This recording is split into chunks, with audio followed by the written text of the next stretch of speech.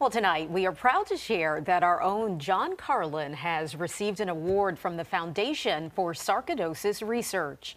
John received the Crystal Inspiration Award for his role as a volunteer and podcaster for the organization. The organization gave John the award at a gala at Union Station last week in Washington, D.C. As John has shared, he has neurosarcoidosis and decided he wanted to help other patients.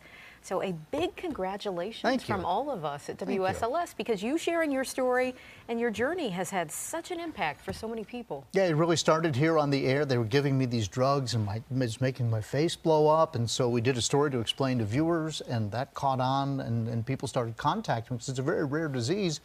And so I started helping out and I became a podcaster and then uh, an official volunteer advocate for the organization. And then they surprised me by giving me that award. So That's I was awesome. very pleased to do it. Well deserved, well done. You. Very, thank you very much. Appreciate it.